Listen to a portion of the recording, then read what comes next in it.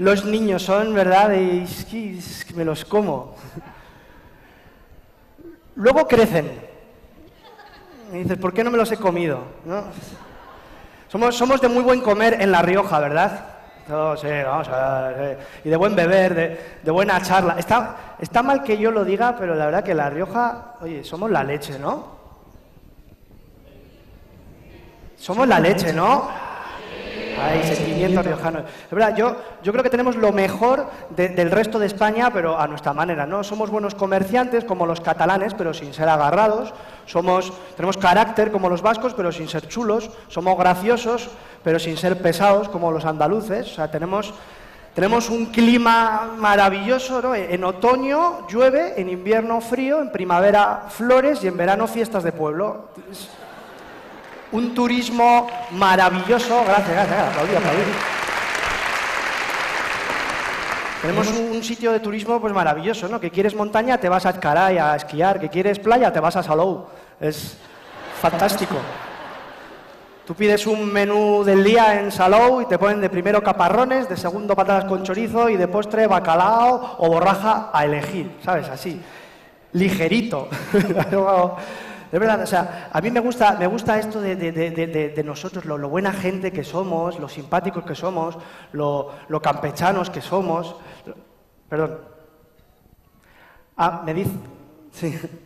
Vale, me dicen que no podemos usar ya la palabra campechano porque como el Juan Car se ha jubilado, la RAE lo va a retirar del diccionario esa palabra. Vale, bueno, pues somos buena gente, somos, no nos gusta discutir, no, o sea, dices pañuelo rojo, azul, ah, hazlo morado, nos da igual, no, Logroñés, haz dos, no, o sea, es una cosa que no nos gusta discutir, somos buenos anfitriones, no, eso es así, o sea, toda la gente que viene dice, qué bien nos tratáis, cómo, cómo se lo pasa uno en La Rioja, y, y por eso, por eso, durante todos estos años nos han invadido tantas veces, ¿sabes? Han venido los musulmanes, ha venido el CID, el CID que sí que era muy bueno, muy bueno, pero que, Nos la intentó colar el Charlton Heston, ¿sabes? Estaba ahí. y luego los franceses. Me encanta decir franceses y que la gente se calle. Es que no, es franceses. Es como es. Yo no sé, o sea, yo no sé lo que les hemos hecho que nos tienen tanta tirria. Les enseñamos a andar en bici, les enseñamos a jugar al tenis nueve veces, ¿sabes? Les dejamos. Gracias. Bueno, nueve veces uno, los demás. Les dejamos que piensen que tienen mejor cocina que nosotros y mejor vino que nosotros. Y aún así están ahí con nosotros súper enfadados. Trae la fruta, tal. Es una cosa, no sé, yo no, no me lo explico. Yo creo que lo que les pasa es que como, como no saben pronunciar la R, pues todo lo riojano les sienta mal, ¿sabes? Agubal, Fogaquín, Yamegugui, Faga Faga, Tuguncun, lo pasan mal, se vuelven así, lo pasan mal. Y lo pasaban tan mal que dijeron, dijeron, ala, vamos a invadirles, ¿sabes?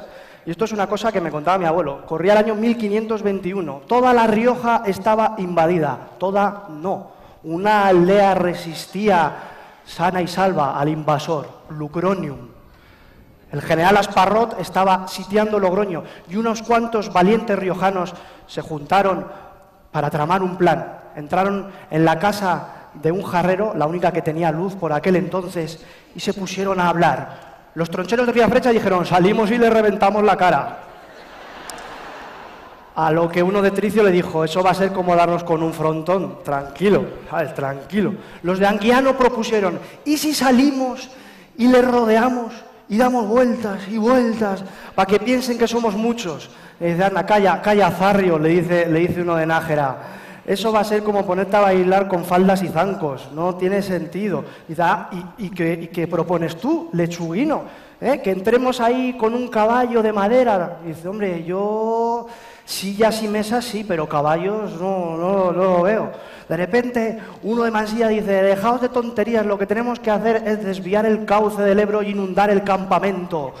La gente estaba toda como loca, los de Santo Domingo, encomendad vuestra alma al Señor. Los de San Vicente, ha sido culpa nuestra. Una cosa muy loca.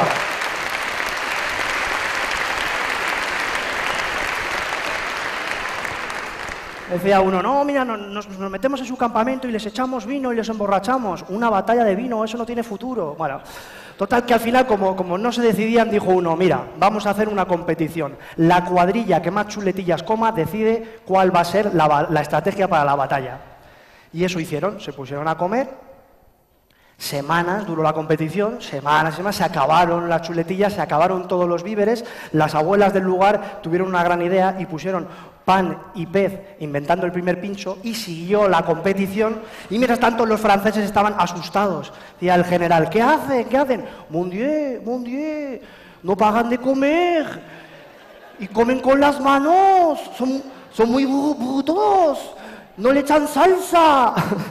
Están, están locos, son, son Nos acercamos a las murallas y se oye chita aprieta la goma, la faja.